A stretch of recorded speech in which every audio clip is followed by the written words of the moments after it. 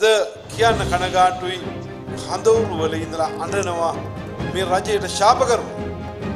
මන් දැක්ක සමහර තැන්වල අපේ ලංකාවේ මේ රටවිරුවෝ සම් කියපු අය මේ දෙන බලන්න නැද්දී අපේ විදේශීයන පුරවැසියෝ හිඟමං කන තත්ත්වකට මේ ආණ්ඩුව පත් කරලා තියෙනවා.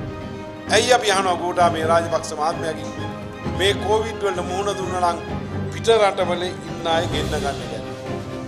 දැන් කෝවිඩ් 19 ඒගොල්ලෝ කිව්වේ අපි තමයි ලෝකෙන් හොඳටම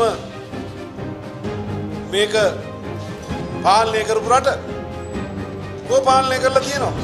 තොරතුරු දෙන්නේ දැන් අද ශ්‍රී ජයවර්ධන විශ්වවිද්‍යාලයේ රසායනාගාරයේ වැහුවයි ඒගොල්ලෝ කෝවිඩ් පරීක්ෂණ කරලා දෙන තොරතුරු හරි විදිහට රට දෙන්නේ වෛද්‍ය සංගමේ සභාපතිවරයා තමයි මේ ආණ්ඩුව ගේන්න වැඩියම මාධ්‍ය සාකච්ඡා කිව්වේ රට බෙදුවා කිව්වේ.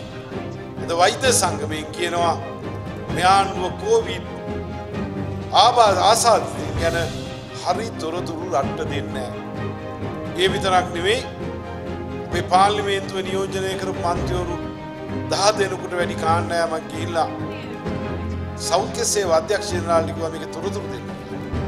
දැන් මාසෙකට වැඩි තොරතුරු දීලා නැහැ.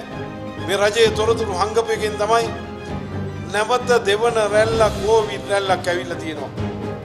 අද වන විට අනුරාධපුරේ පොළොන්නරුවේ ගම්මාන වහලා මොනරාගල දිස්ත්‍රික්කයේ ගම්මාන වහලා කුණ්ඩසාලේ පැත්තේ නුවර ගම්මාන වහලා එනම් මේ රජේ වක් කියන්න ඕන ඇයි කෝවිඩ් එක අස්සේ ඇතිවරණ කරන්නේ breaking.lk